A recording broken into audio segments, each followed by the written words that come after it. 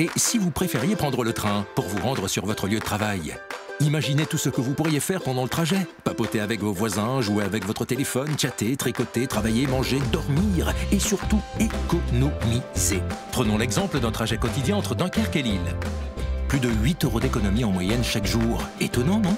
La SNCF et la région vous proposent de tester le train pendant un mois pour vous rendre au travail. Rendez-vous sur votre site TER, suivez les instructions et laissez-vous convaincre. Il est temps de préférer le train.